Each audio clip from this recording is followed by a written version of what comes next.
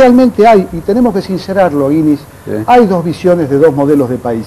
Y estas dos visiones son, atraviesan la historia argentina. Y yo como secretario de Cultura de la Nación, me, me enriquece el debate y nos va a enriquecer a todos los argentinos. Pero eh, si aplicamos chicanas, formas, que la presidenta este, llega tarde a... a- a- al- la verdad, eh, de Perón se dijeron cosas terribles, de Eva Perón se dijeron cosas espantosas, se dijeron, ahora lo reivindicamos a Alfonsín, hay que acordarse las cosas que decían de Alfonsín y el modo en que Alfonsín fue corrido. A Ilía lo corrieron con una revista y, le dijeron de todo, tortuga, etcétera.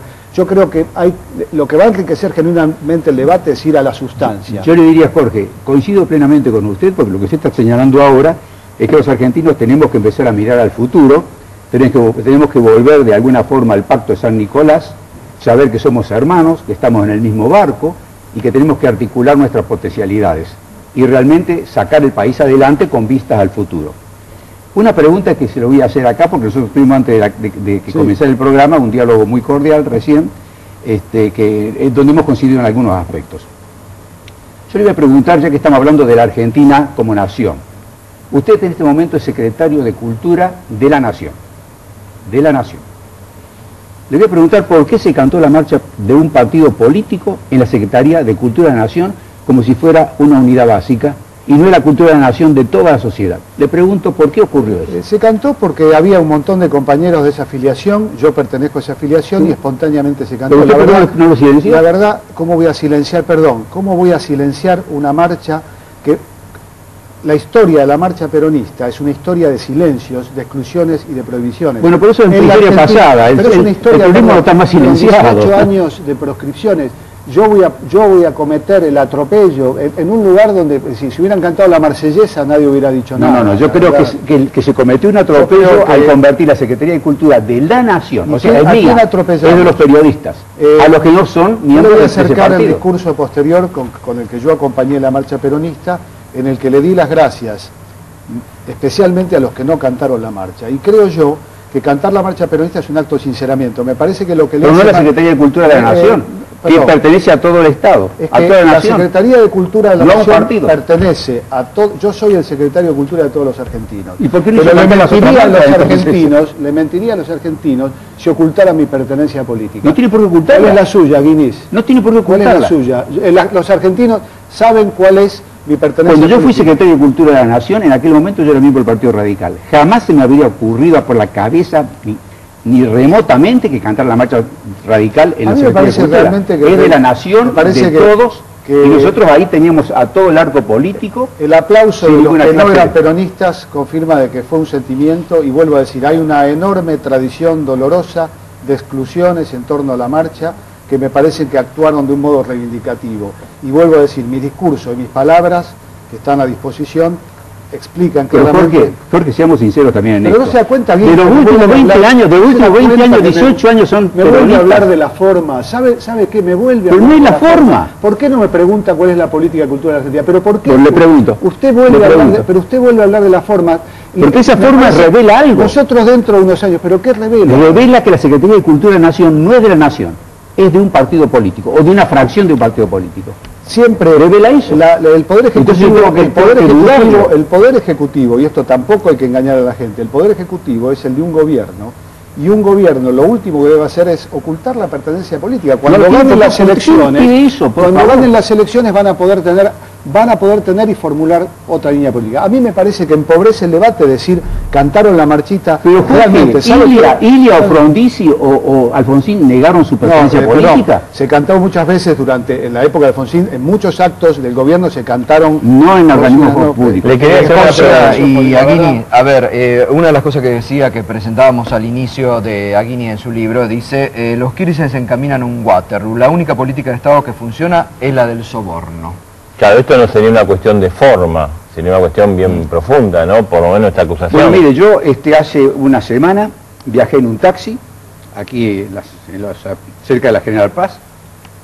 El taxista era un hombre muy tranquilo, misionero, y que me dice que pertenecía al Buenos Aires Profundo, el segundo cordón.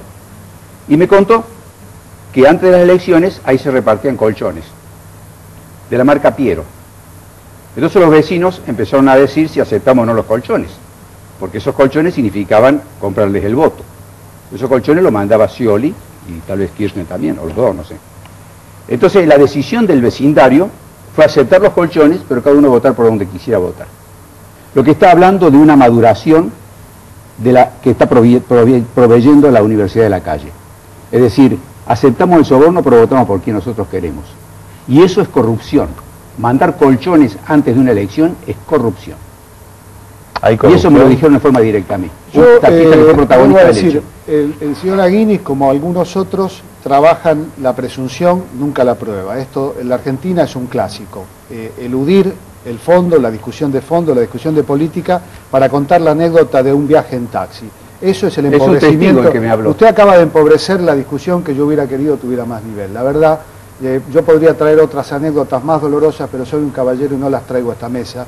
Pero realmente me parece que la forma, lo aparente, la presunción.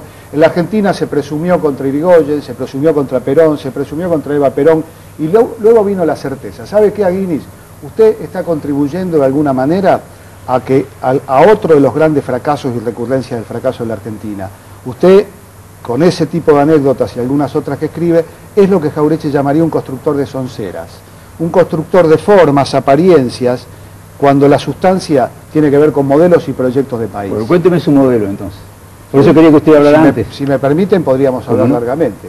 Y yo eh, vuelvo a decir, yo sostengo que en la Argentina hay un modelo, yo defiendo, y lo defiendo desde los 17 años, una Argentina que jerarquice un modelo de producción, un modelo de trabajo, un modelo de justicia social, un modelo democrático, un modelo sin represión, un modelo con memoria y justicia, un modelo que revise la historia, porque olvidar la historia, porque esto de mirar al futuro y no mirar para atrás, sí, vamos a mirar adelante, pero recordando los baches del Yo estoy pasado. completamente de acuerdo con usted. Estoy ¿Y qué nos separa entonces? ¿sabe qué? Estoy completamente lo de acuerdo. Lo que nos separan son, son sus líbelos, eso nos No, no, separa, no, estamos completamente de acuerdo porque usted me habla de producción y yo digo, el modelo que está en marcha en Argentina es un modelo que estimula la Producción que estimula la creación de inversiones, yo digo que que sí. estimula la apertura de fuentes de Yo trabajo digo que sí, o que provoca elevación de Yo digo que capitales. sí, lamentablemente si triunfa su postura lo vamos a ver en los libros, en los libros de historia. Como vimos que Irigoyen era mejor que Uriburu, como vimos que Perón era mejor que los 18 años de proscripción, como vimos que lo que reemplazó a Frondizi fue malo. Entonces esto es lo que yo defiendo. Yo la verdad que lo defiendo además desde de temprana edad. Y en ese sentido digo, vamos al fondo de la cuestión, vamos a qué proyecto de país usted quiere. Bueno, yo, por ejemplo, el proyecto, el proyecto de la soja, el proyecto agroexportador, que es eh, el proyecto de la soja, el proyecto sin el valor agregado, es un proyecto que si se impone, si se impone, es un proyecto, van a sobrar 15 millones de argentinos. La clase media va a tener que volver a acompañar a sus chicos de Seiza con una particularidad. La Europa no va a ser la Europa amigable de finales del 90 y de principios del siglo XXI. Va a ser una Europa mucho más difícil.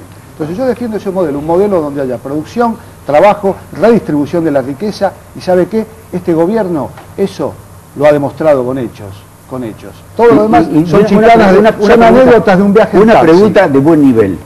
Para que la producción realmente exista y se incentive. Incluso la presidenta habló de que ella lo admira Frondizi.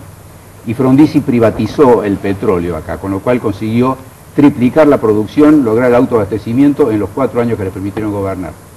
Si realmente coincide con Frondizi, tendría que privatizarse muchas cosas en vez de estatizárselas. ¿Usted está de acuerdo con privatizar, por ejemplo, aerolíneas y con volver a pri- Pero por privatizar a. FECOT? Bueno, ¿Cómo voy a no. quemar 7 millones de pesos No, por eso, esa es, la, diariamente esa- con la aerolínea? esa es la visión. Pero ¿sabe qué ocurre? ¿Cómo Que los argentinos ¿No es- un escándalo eso? ¿Sabe qué? Que, que el modelo neoliberal plantea el negocio en términos de los números y de ¿Los chilenos son neo- neoliberales? Lo- los chilenos son... Tienen LAN Chile, ¿eh? Yo no voy a No hablar, de Chile, voy a neoliberal. hablar de la Argentina, porque, Bueno. no, por, por porque soy funcionario... Yo no soy neoliberal, no entonces sé a qué viene la palabra. No, y sí, el modelo privatizador, usted me está ¿El planteando... privatizar volver a- es ser neoliberal? O sea, Frondizi fue un neoliberal. No, eh, eh, perdóname, Frondizi plantea la privatización del petróleo, es una de las cosas en las que yo no coincido con Frondizi. Ahora, Pero está- el autoabastecimiento, me está ¿está mal planteando eso? volver a privatizar aerolíneas, las AFJP, bueno, La aerolínea se está dando yo la verdad que creo que... Si el Estado consiguiera... yo creo que eso es volver a los 90, Guinness. si- no, si el Estado consiguiera beneficios, me parece perfecto que el Estado estatice. Pero si el Estado lo único que logra es empobrecer al país, producir un aumento de la, de la, de la evasión de divisas, el aumento de la pobreza, el, el cierre de Pero fábricas... de qué, de qué- perdón, ¿me está hablando de la Rúa, Guinness? Porque todo lo que usted me está describiendo me parece que se corresponde con De la Y Rúa. aquí no estamos en una maravilla, en un país No, maravilloso. pero, está habla- no, pero estamos Pero usted sabe que se están mucho evadiendo dos mil mejor, millones de dólares por Mucho mejor. ¿Y sabe qué lo dice Torcuato Vitela? No lo dice Cosi.